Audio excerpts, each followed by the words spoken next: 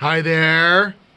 My name's Timmy Joe. I make videos about these things on the internet, and this is just a quick video uh, because I've been getting a lot of comments on my X58 that you can't use ECC memory with X58 boards, and that uh, DIMM I just showed you is one gigabyte of uh, SK Hynix RAM, SK Hynix? Yeah, Hynix RAM uh, that is ECC registered. It says it right. Oh, wait, scroll down. There, unbuffered timings, chat, yeah, integrity check ECC. I also tried this stick, which is a 4 gig Kingston stick, and it booted no problem too.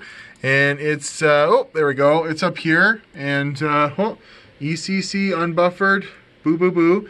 And uh, if you Google it, of course, you can come up with a mixed bag of results for ECC on certain X58 motherboards, but with Asus, I've never had a problem with it. And I think, ironically, well, not whatever. I think that's the only motherboard I've ever used with X58, except for one MSI board. And I, I never, I don't think I checked that. But you can use ECC memory for sure. You just got to do your research, dogs, huh? And then you have it one gig of 800 megahertz DDR running in here. but it was really slow to boot up and stuff. It was funny.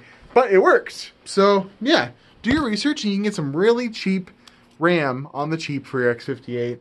And it does work. I just think gotta find an example of somebody saying it does work in a forum or something like that for the particular motherboard that you find.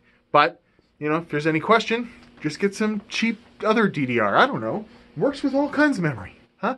So yeah, thanks very much for watching. I'm at Watch Timmy Jones Instagram and Twitter. Look forward next week to this. Whew. And we're gonna look at ooh Phenoms. Ooh on an AM3 board.